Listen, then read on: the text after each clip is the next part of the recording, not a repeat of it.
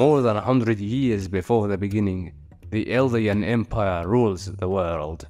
It's ruled by the Fritz royal family and the great other eight titan shifters. Together they make up the nine titans. Because these auspicious people have nothing better to do, they decide to beat the shit out of each other and start a civil war. Then comes a new king with the name of Karl Fritz, not to be confused with the original King Fritz, slayer of ladies and lover of MILFs, who started the whole ordeal 2000 years ago. This Karl was a very peculiar individual. He paid too much attention in history class and realized that his Eldian empire did some pretty yucky things to the people they subjugated. So instead of trying to end the war and fix the injustice like any half-decent monarch, he decides to adios. He takes most Eldians to the island of Paradis, builds three walls filled with colossal titans, wipes the memories of the outside world from his people, and threatens to rumble the world if anyone comes near his island. Back home, the oppressed people of Marley ascend again. They take control of the great titans and end the Eldian Empire for good and all, with the help of the king and the Tybur nobles. Yes, Karl brought down his own empire. The oppressed Marleyans become the oppressors, and the remaining Eldians are treated like dog shit, sometimes dog meat as well. Meet Grisha Yeager, also meet his sister. Eldians are the only race that can turn into monsters, so as a minority living in Marley, they are treated like royalty. Russian royalty to be precise. One day, Grisha is minding his business and enjoying the lovely sunshine when one fine gentleman decides his sister is tonight's supper. Grisha is understandably a little bit upset about this.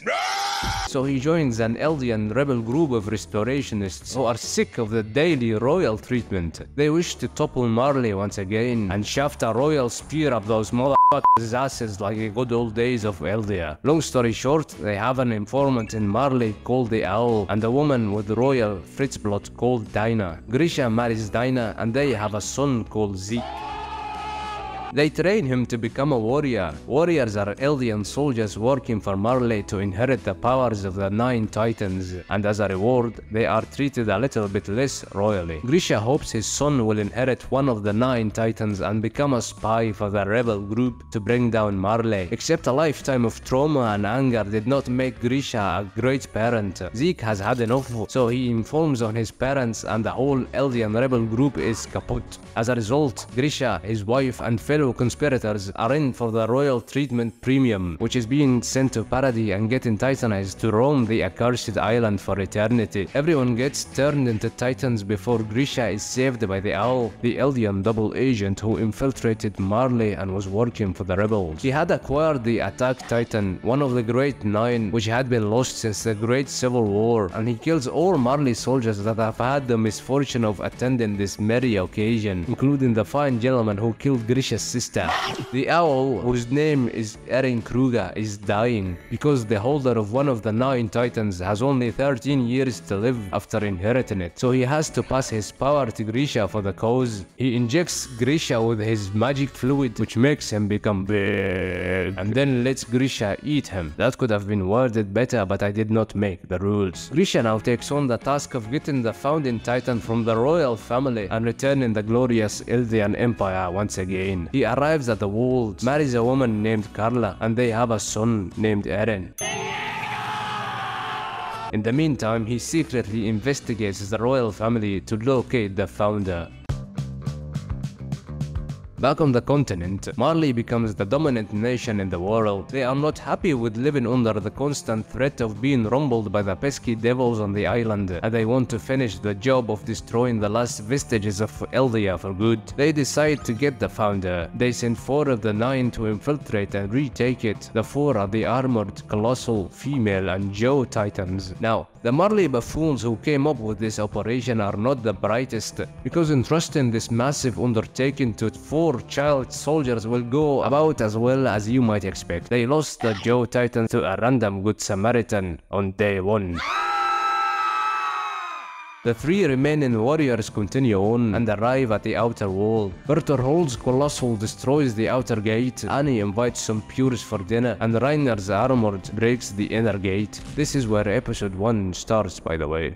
Uh, In the chaos, Grisha's wife is eaten by his ex-wife. His son and adopted daughter escape to the second wall. The warriors then masquerade as refugees as well and infiltrate the second wall to locate the founding titan. Grisha learns that Marley have come at last to finish the Eldians, so he decides to act. He finds the royal family. They have a new queen who had grandiose plans of freeing the Eldians from the gulag that they live in. But as soon as she inherited the founder, she somehow became locked on keeping them inside the walls. Turns out, good old King Karl programmed the founder inheritors to follow his command and shackle the Eldians inside the walls. As long as the holder was of the royal Fritz blood, they are bound by his command. Also, his warning about rumbling the world if they attacked Paradis was just a joke. Yeah. He would accept Eldians being eradicated for the sins of their ancestors if the enemy so wishes. Grisha realizes that to free Eldians, he must take the founder from these royal retards, but he is hesitant to murder the royal family and consume the queen.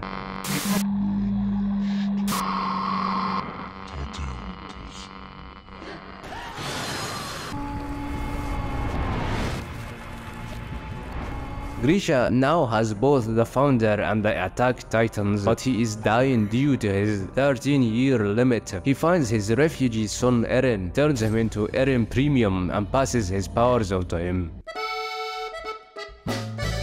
Though Eren conveniently doesn't remember any of it to keep the suspense and the mystery of the story. After successfully sneaking into the second wall, the Marley warriors join the army to get close to the royal family, who they assume still hold the founder. The pesky devils on the island are unaware of the world outside the walls. Their military has a branch of weirdos who go outside the walls to investigate, but all they achieve is get eaten every time. Uh, coincidentally, some might say conveniently, the random Samaritan who snacked on the Jaw Titan and acquired its power also joins the same cadet unit. The illegitimate last female member of the Fritz royal family, Grisha's son Eren, also joins the same cadet unit alongside his two sidekicks. This Eren character has a few loose screws in his head. Once when he was 10 years old, the daughter of a family friend got abducted, so he decided to go the wrong house, fool!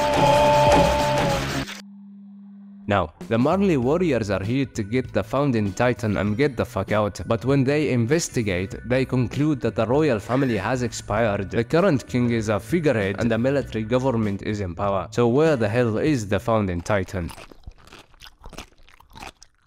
To flush the holder of the founder out, they break the second wall. Same routine, Bertrolds breaks the outer gate, while Reiner prepares to break the inner gate. Wait, what on earth is that? Isn't that the attack Titan Marley has been looking for for a century? New plan. Turns out the crazy nutcase Bozo is the holder of the attack titan. Our motherland Marley will give us medals and some snacks if we can return it. We need to get the attack titan first before the founder, so we're not gonna break the inner gate just yet.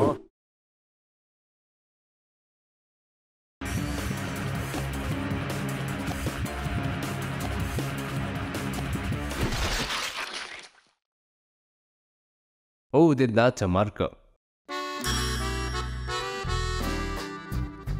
They call off breaking the inner gates, Those pesky devils have used the attack titan to plug the hole that the Colossal had made. The warriors decide to split up. Reiner and Bertholdt will stick with Eren in the Weirdos Corps while Annie joins the military police in the inner wall to investigate the founding titan and help them covertly. The change in their course not to break the gates did not go unnoticed however. A certain Erwin Smith has figured out that there are outside enemies inside the walls. He concocts a plan to expose the enemy by using Eren as bait in an expedition outside the walls. Reiner and Bertholdt join the expedition that follows and inform Annie to follow suit. After a kidnap murder side plot for some reason, she does catch up in her female form. The whole expedition is a bloody mess. The devils spring the trap but can't capture Annie.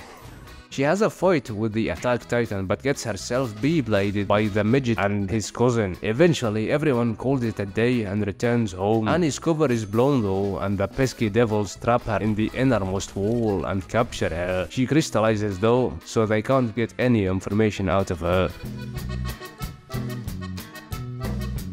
Back in Marley, the government was starting to suspect that sending four kids on the mission was not a very bright idea. So they sent in the Beast and Cart Titans to ascertain what was going on. The holder of the Beast Titan is Zeke Yeager, Grisha's first son. Now, after Zeke snitched on his parents and got them premium royally shafted, he got rewarded for being a loyal good boy by inheriting the beast from his mentor. He developed some pretty nihilistic views about the Eldian race after seeing how the curse of the Titans makes them get treated like shit everywhere. He wants to free his people from the pain by taking away their ability to reproduce and letting them die within a hundred years. Unbeknownst to the Marleyan government asswats, he has royal Fritz blood from his mother, so he has special abilities that makes this possible. Only he needs the holder of the founding titan to achieve euthanasia. He arrives on Paradis with the Cart Titan to suss out how the mission was going. Turns out the kids have botched the whole operation and shit is out of control.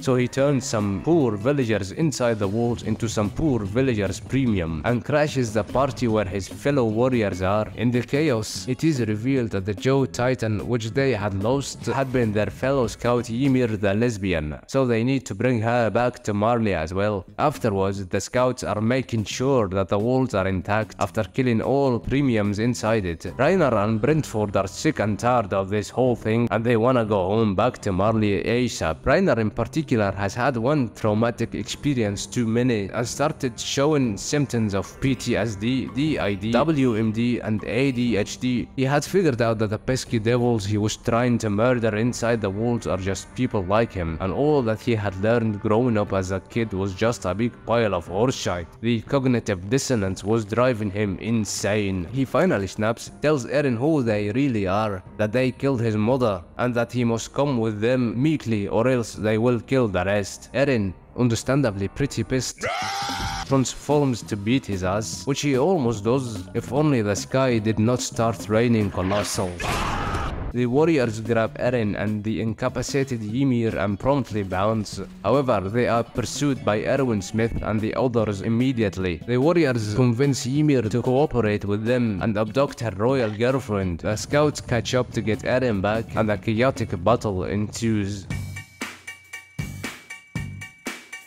The day did not start well and got progressively worse. Erwin invites some good Samaritans premium to join the freak show. Because he has balls of steel, he lines up for a charge and leads the scouts into mayhem.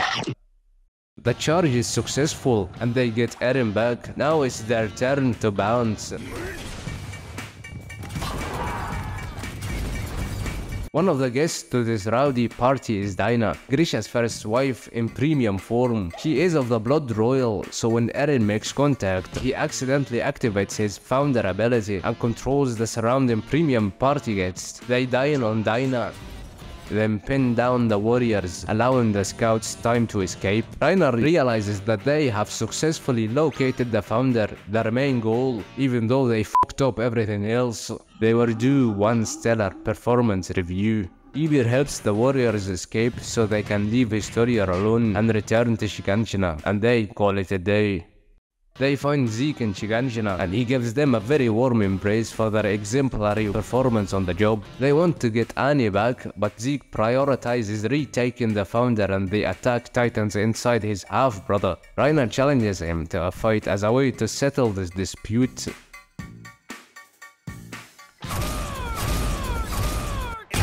It is decided they will wait for the founder and the scouts to come, and they will complete their mission.